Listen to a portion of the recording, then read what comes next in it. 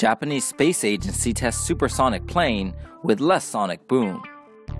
Japan's space agency, JAXA, in cooperation with Sweden's Esrange Space Center, has successfully tested an experimental supersonic aircraft that emits a quieter sonic boom.